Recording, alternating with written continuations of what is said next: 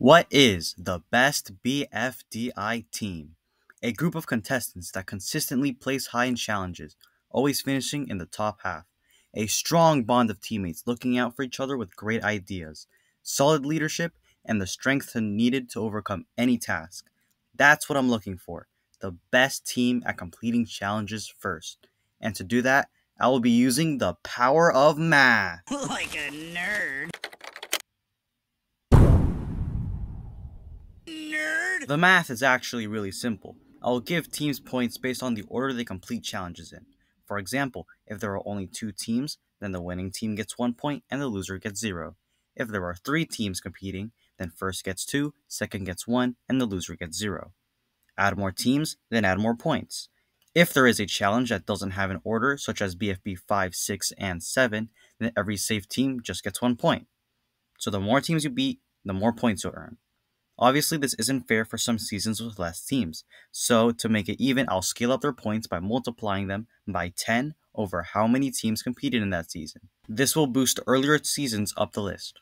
If there is a tie in the ranking, then I will go off which team has the better win to lose ratio. I have included 29 different teams across the entire show. So with that out of the way, let's see who's the real strongest team on Earth.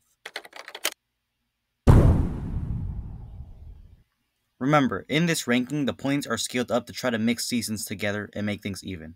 Their actual points for their respective seasons will be shown at the end of the ranking.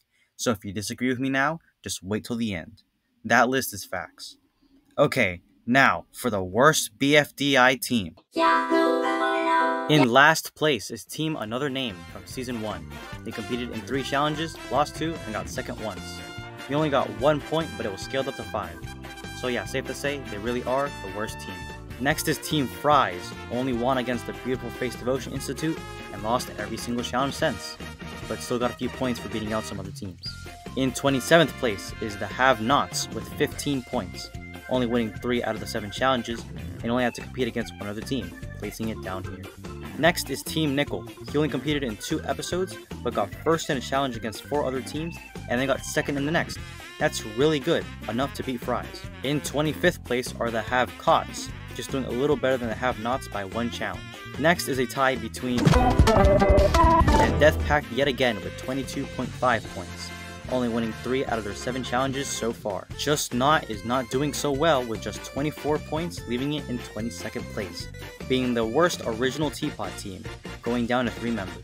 In 21st place is Free Smart with 25 points, they were the best team in the beginning of BFDIA, but went downhill after losing Ice Cube, and for joining in late.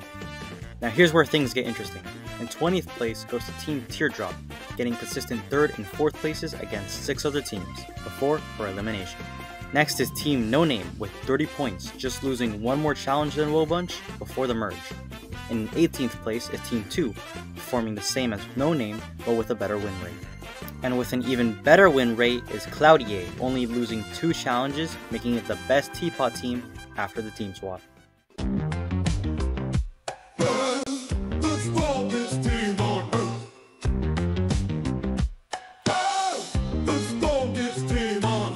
Man, that is so good. You should really go listen to that. Oh, yeah. Despite being called the strongest team on Earth, their team is full of useless, armless wimps and basketball. Snowball and Grassy literally carry their team and are responsible for their wins in episodes 3, 4, 6, and 8. This team has never gotten first, and have just barely not been up for elimination, 5th place, three times, leaving them with only 31 points and 16th place. At the halfway mark is the Squishy Cherries with 35 points. Despite their big losing streak in the beginning, when Team Another Name was made, they were able to regain some points, but still not enough and falling behind the Grapes. In 14th place, with 37.5 points, is our best BFDIA team, W.O.A.H. Bunch, being here from the beginning and just doing better than Team No Name by a challenge. Next is our worst BFB team, Iance. They lost two challenges, got first once, were in the bottom half for five, and getting three seventh places, which really isn't good. Next is Team Ice Cube with 40 points. Slimmer to Iance, they only got one first place, lost three challenges, but consistently got fourth place. Not horrible, but not really good. Right out of the top 10, in 11th place is Team Are You OK? I am, thanks for asking. They were first in their first and last challenge, and they did pretty okay with the rest, with 4th places. In our top 10 by just one point is the S. They may have lost 3 challenges, but also got first twice and consistently got 2nd place somehow. Huh. In 9th place is Teammates with a better win rate. Despite playing worse, that one extra win really mattered. In 8th place, with 42.5 points, are The Losers, our first BFB team to only have one loss. In their loss, the Twinkle of Contagion, the rest of the teams only tied for one point, so their loss really didn't matter and is why they're up this far in the ranking despite usually finishing in the bottom half. In 7th place, with 45 points, are the Squashy Grapes, our best Season 1 team. They're up this high because of their impressive winning streak over the Cherries and only losing 3 out of 11 challenges despite going up against only two or three teams. For reference, Team Ice Cube also only lost three times, even though they competed in more challenges and were up against even more teams, meaning they could have done worse. So this leaves the Squashy Grapes up here. In 6th place, with a better win rate, is a better name than that. They only lost once and got first once. Got six, six times in a row, and then got pretty mid placements overall. they're only a little bit better than the losers. Alright, it's the moment you've all been waiting for. The top 5. The best of the best teams. In 5th place, with 47 points, is Death Pact again. They may have lost 3 times, but they've also been first 3 times, so it bounces out. And they've gotten every single placement in between, making them the most balanced team here, landing them in 5th place. Shockingly, in 4th place, with 47.5 points is Team B. Another team you may think is bad for having the most eliminations, but they always finish in the upper half. Not, not first though, they never got that, but always getting second, third, and fourth places everywhere else. In third place, with 49 points, is Team Their impressive winning streak of 12 episodes really carries them here. Two firsts, two seconds, and the rest is kind of in the bottom half, never placing above fifth. With how close the points are, just one more loss for this team and they definitely would have fallen hard. But Team ah. Black earns the bronze medal. With 57.5 points is the original Death Pact. Black Hole was right about them being really good in BFB. With not one, not two, not three, but four first place wins, only losing once and some placements all around the place. Death Pact surpasses ah. 8 wins by an 8 point difference.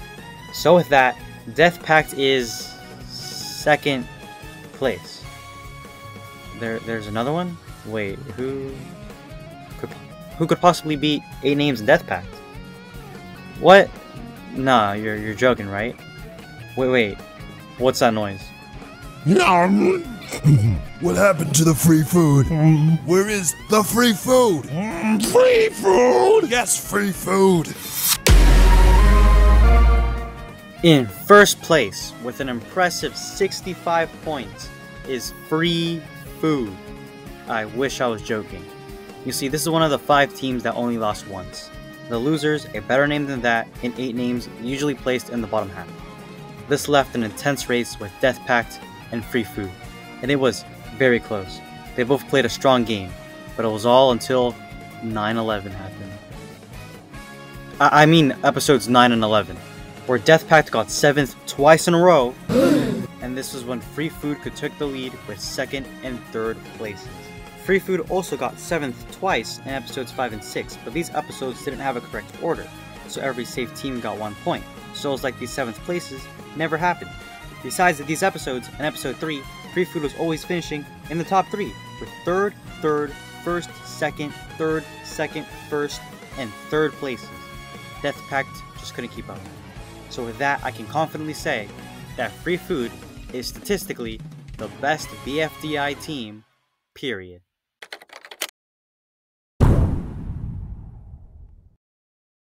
As always, some people still aren't satisfied with these results, so here are the real lists with the seasons separated. These orders should be 100% correct.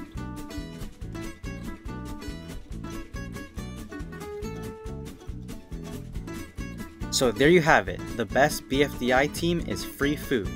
Thank you for watching the video. This took me a lot of time to make, so make sure to subscribe and tell me how wrong my math is in the comments.